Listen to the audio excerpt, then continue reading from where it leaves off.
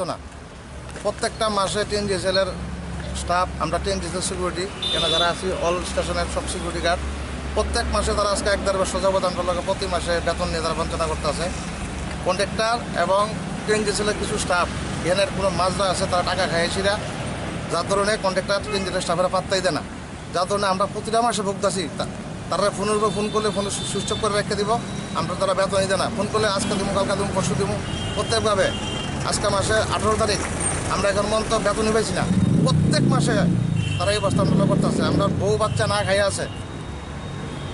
তো আজকে আমরা আইছি। তো আজকে আইলে কি দেখা যাব আমরা এখন বুঝাই দিব রামচন্দ্র মজু করে কালকা দিয়ে এলাম এরপরে কি দেখা যাব কিতা? আমরা বেতন হয় না। কিতা? কন্ট্রাক্টর তারা দিয়ে লাইছে। বিশ লাখ বা বিশ হাজার ত্রিশ হাজার টাকা দিয়ে লাই তারা টাকা অভিযোগটা অভিযোগ আছে এখানে। তারা কয়েকজন মুসলিমে কয়েকজন স্টাফ আছে। খাইকে তারা পেট মোটা করে লাগছে তিন জেলে কয়েকজন স্টাফ তো আমরা আজকে না খাই আছি। বউ বাচ্চা মানে আমরা ইচ্ছা আমরা বউ বাচ্চা যা আছে স্টাফের কাছে দেওয়া যাব। আজকে আমরা বেতন লাগবো যে কোনোভাবে হোক আমরা আজকে বেতন লাগবো বেতন ছাড়া আমরা আমরা আজকে দুই মাসের বেতন আটকানো। কতজন আছেন আপনারা? আমরা পঞ্চাশ জনের উপর আছি স্টাফ এই সিকিউরিটি গার্ড নাকি?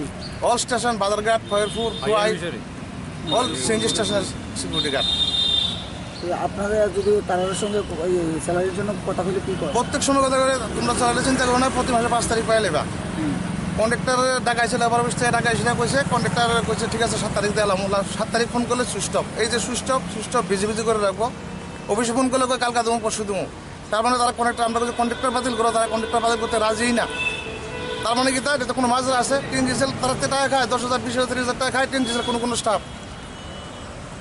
আপনারা কার আন্ডারে আমরা তিন আন্ডারে মানে কন্ডাক্টর আন্ডারে আর কি। কন্ট্রাক্টরের নাম কি? নিরজ নিরঞ্জন আপনার বোধ পত্র পত্রিকা দেখছেন দুদিন পরে পরে দেখা যায় কি তা মানুষের চাকরি দিব কয়েছিল এক লাখ দেড় লাখ জায়গা চাক- চাক- চাকরি দিব কয়েছিল এক লাখ দেড় লাখ দুই লাখ টাকা করে খাইব খাইয়েছিল এমন করতেছে। সেই আমরা সিকিউরিটি এমন করতেছে। তোমরা পাঁচ হাজার টাকা দাও তোমরা রেজিস্ট্রেশন দিব আজকে আমরা দেড়- বছর দুই বছর ধরে চাকরি করি। দেড় বছর পরে কি রেজিস্ট্রেশন কি আর নাই ইএসআই নাই কিচ্ছু নাই আমরা। স্যালারি স্লিপ পর্যন্ত দেয় না। কত টাকা স্যালারি আপনাদের? আমরা নয় হাজার নয়শো পঁচিশ টাকা পাই। টোটাল কত আমরা এটাও জানি না। ক্যাশ উইটা পাইতাছি। কোনো কথা কইতে গেলে আমরা হুম- হুমকি দেয় চাকরিতে আমরা চাকরিতে ছাড়াই করে দিব। কোনো কিছু কইতে গেলে চাকরিতে ছাড়াই করে দিব। তার কাজ শুধু এটা। চেঞ্জ যদি স্টাফে কয় কন্ট্রাক্টরে কয়। আপনার নাম? আমার নাম কমল সরকার। আপনি কি পদে আছেন? আমি সিকিউরিটি গার্ড